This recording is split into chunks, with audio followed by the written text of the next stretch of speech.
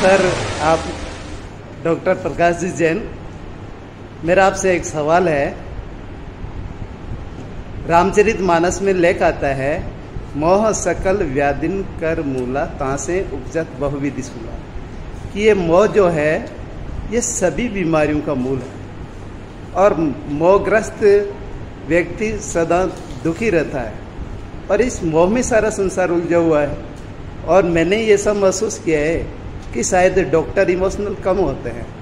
तो इस पर आपका क्या विचार है? मोह से कैसे निजात पाए? सबसे पहली बात तो ये कि डॉक्टर इमोशनल नहीं होते हैं। ये बिल्कुल गलत इंप्रेशन है। हमें अपनी दिनचर्या में हमेशा ही इस तरीके की चीज़ों का सामना करना पड़ता है।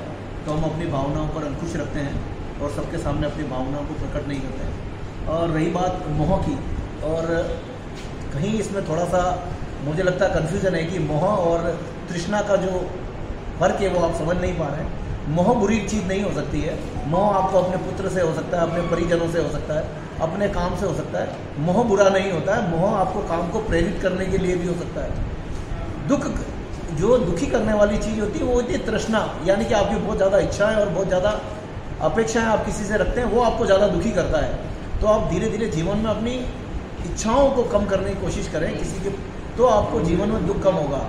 वो मुझे लगता है कि रामचरित मानस में जो उल्लेख किया गया है, उसका कहीं कुछ गलत मिस इंटरप्रिटेशन किया गया है। Thank you sir